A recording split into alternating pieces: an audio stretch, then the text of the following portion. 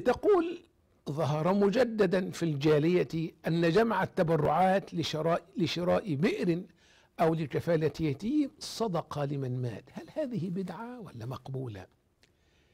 نقول لها يا رعاة الله إن قام بهذا أحد من ذوي القربى أو ممن تربطهم بالمتوفى صلة فلا حرج.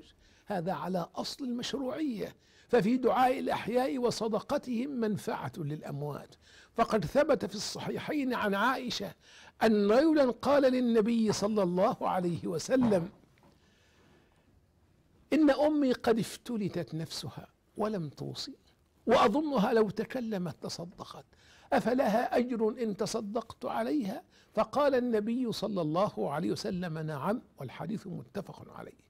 وقد ثبت في صحيح البخاري عن سعد بن عبادة أن أمه توفيت وهي وهو غائب فقال يا رسول الله إن أمي ماتت.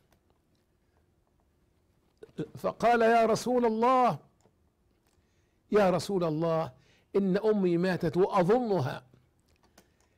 لو أنها آه، كانت يعني أدركت وواعية لتصدقت أفينفعها إن تصدقت عنها؟ فقال النبي صلى الله عليه وسلم نعم أي أن الصدقة تنفعها إن تصدقت أنت عليها. وفي هذا دليل على أن الصدقة عن الموتى مشروعة ومقبولة بإذن الله. فقال أشهدك أن حائط المخراف صدقة عنها.